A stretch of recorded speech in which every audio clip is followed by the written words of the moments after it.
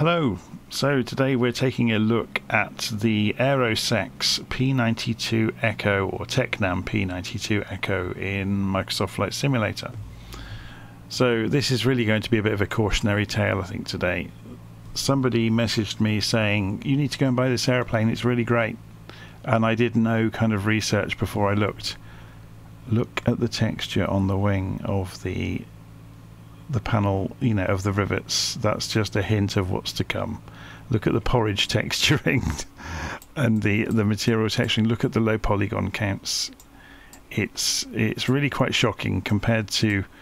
I guess we've we've got used to very very high quality models in the simulator. So it's a bit of a shock when you see one that is nowhere near other aircraft that are coming out. Anyway, we're not going to beat on it too much but we are going to say it's very expensive for what you get. So this is the sim market price for it. it is 23 euros 99.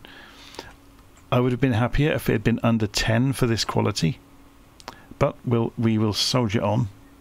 So let's just try something out here. Yeah, so if we remove the parking brake, that makes all the tie downs, the chocks, and the covers disappear.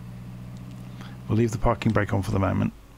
So inside, you can see it. Really, you can really double down. This is far, far below the quality we're used to seeing now. The texture resolutions are awful. The low polygon count is awful.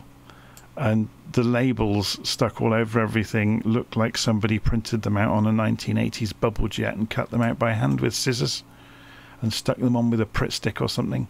It's just awful compared, uh, unfortunately, compared to other aircraft that are now available. Anyway, fuel shut-off valves are either side of the cockpit. So we'll go and turn those on. The master power switch seems to turn on all of the avionics as well, so let's hope we don't get a surge that blows everything. That seems remarkably inaccurate. If it's true of the real aircraft, that's kind of stunning. Uh, turn the beacon light on before we start the engine. Uh, let's just have a look at the levers that we can throw around the cockpit. So we've got the throttle there, there is no mixture control. There's no spoilers in this aircraft, but we do have a flap switch which works over there, which is quite good. Okay, let's go and turn the engine over then. So engine fired up on idle and it died again, which is interesting. So we've got some bizarre sounds going on there as well. It's all rather interesting, isn't it? So we are at Boonville, by the way, in the US. So let's go and taxi out. Oh, before we do that, let's go and put this on map mode at least, even though we're not going to be really using the GPS. Ah, oh, this is a bit of a it's a bit of a letdown, isn't it, when you go and spend the money on an aeroplane and then you get in it and you realise actually you've been done, really. But anyway, I said I would try not to beat up on it too much. Before we go anywhere, let's go and stick on the parking brake and go and listen outside. Oh, we are managing to levitate the rear wheels. What about if we give it some elevator as well?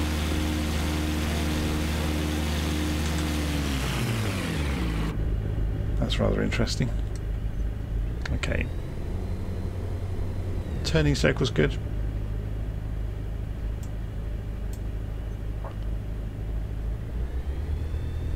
The turn coordinator didn't seem to want to play ball then. It seems to be thinking we are pitching the aeroplane over while we're on the ground, which is interesting.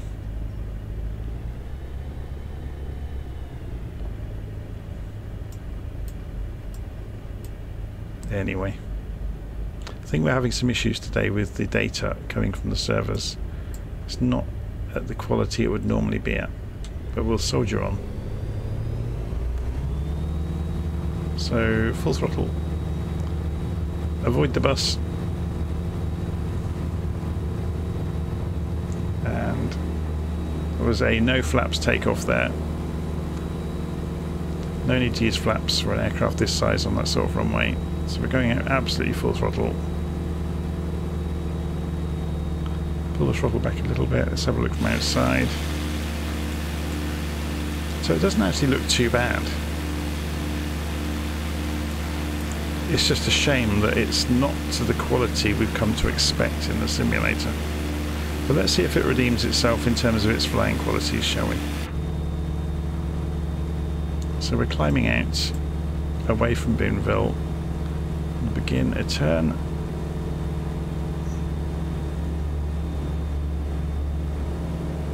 Holding just above 60 knots at the moment. So we go a bit steeper to maintain the same airspeed as we turn. I suppose it is nice that we have a turn coordinator, which you don't always get in aircraft of this size, even if it doesn't seem to respond properly. But we'll see, we'll carry on. The aircraft does slide a lot in turns, doesn't it? We're having to in input a lot of rudder to keep it coordinated.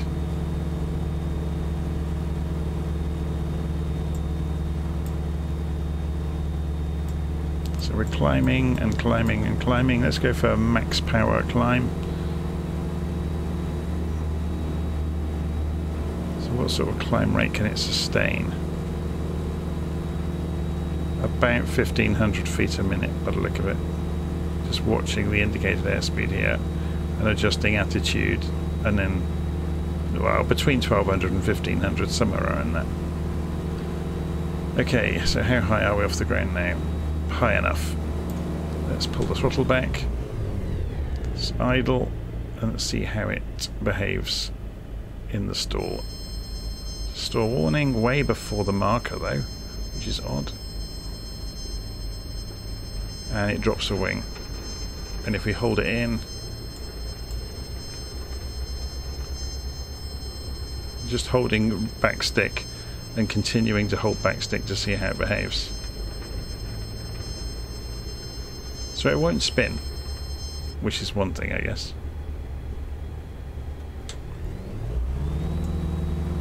So let's climb back out and turn back around the airfield as we go. So it does slide alarmingly. You have to input a lot of rudder compared to other aircraft in the simulator to maintain a coordinated turn.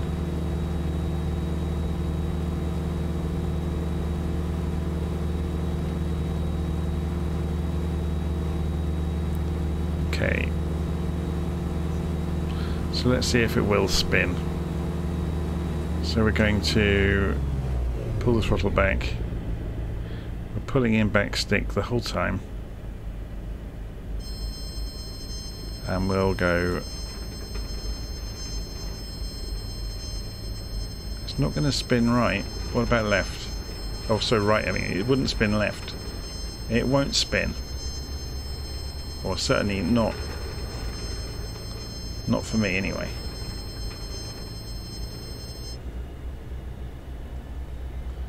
Okay, so let's circle round and try an approach and see how it behaves on an approach.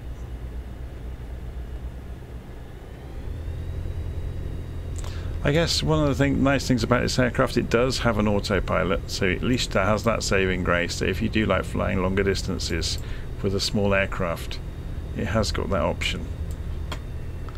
It's just really, really odd that the modelling is such low resolution. And the texturing as well is just almost non-existent. I mean, look at the... You can see the pixels on the compass, and it's got weird aberrations going on in the rendering.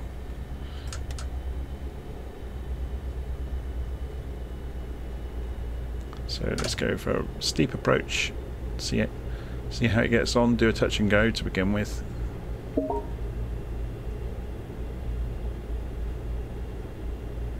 So with full flaps they don't seem to be generating much in the way of drag. We're holding airspeed in a very shallow flight path with idle throttle, which seems a bit odd to me for an aircraft of this type.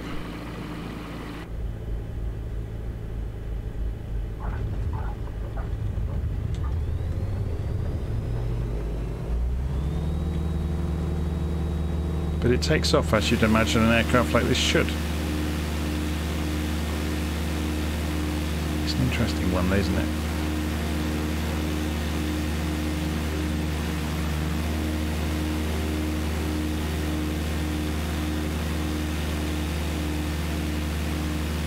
It's very, very stable at low speed, has to be said, with the flaps.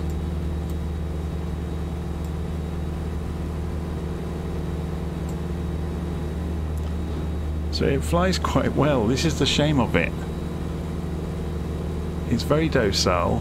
It doesn't tumble. It doesn't spin. But it just looks awful. or should I say, it looks awful compared to some of the competing aircraft in the same price range for the simulator.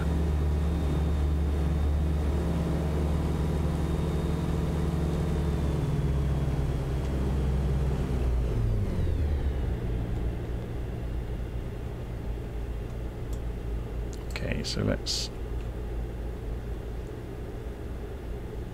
keep an eye on the runway. Steep turn. So I'm over overrunning on purpose so I can zigzag back to get to the runway and lose some speed and some height along the way. Now I've uh, kind of um, found out that this is so stable we can have some fun with coming in slowly. It's like hanging on the wing isn't it? And it does it very very nicely and very easily it has to be said.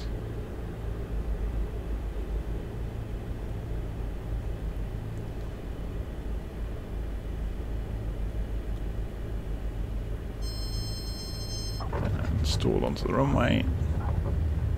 Of course it has tricycle undercarriage so you don't have to worry too much. Let's just turn around. Turning circle is very good.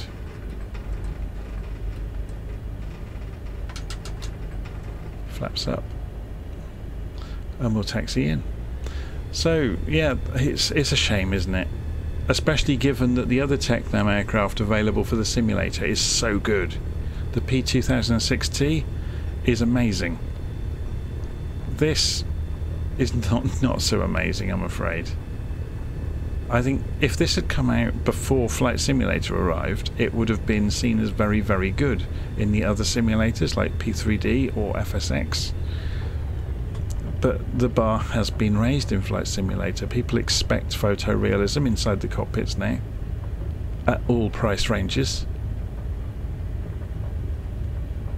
and this just isn't there. It flies fine. It's just a real shame. And you can hear there's lots of sounds going on. It's it's just a shame. It may be that this is built by a lone developer, so that shouldn't be an excuse. And it, this may be their first product for Flight Simulator, so maybe they're learning. But I think maybe we shouldn't have to pay for that learning process. Anyway, wheel brakes on. Magnetos off. Fuel shut off, closed. And turn off the lights and turn off the power. Do the doors or anything work? What do we get in the book? Oh, the book oh the book actually opens and we get some options. See, this is interesting, isn't it? Look. So they have given us a load of options for it about showing a glass cockpit. Okay, that just removes the glass from the instruments. So instead of having the frosted look, which seems to be what they've done here, I've seen this on a few aeroplanes now. To model reflections, if we go around, can we get a shallow angle on them? No, they haven't even done that. They've just put a frost effect on. I'm just trying to see if we can see reflections inside the cockpit? No. They've just put frost in front of them. It's not even reflecting. Okay, so I'm not going to bother delving too much into this. It's just a shame, isn't it? There's a a flap gauge which looks like it's about 100 dpi over there. Show baggage or not? Exterior options, wheel chocks, pitot cover. The, those are the things that we saw that when you're on the wheel brakes yeah so we can make them appear or disappear. Or the parking brake I mean sorry. So is there another page? Nope that's all there is. Click on the spiral to close it so that puts it back away. Can we open the door maybe? Yes we can. How about that door? Does that work?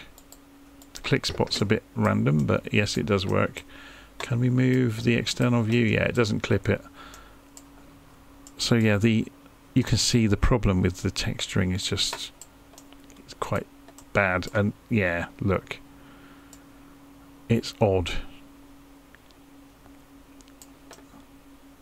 And here as well, the simulator has moved on. This sort of thing just isn't really good enough anymore. Anyway, I'm going to leave it there. And you can make up your own mind. It flies fine. It just looks awful. Okay, I'm going to leave it there and I'll see you again soon.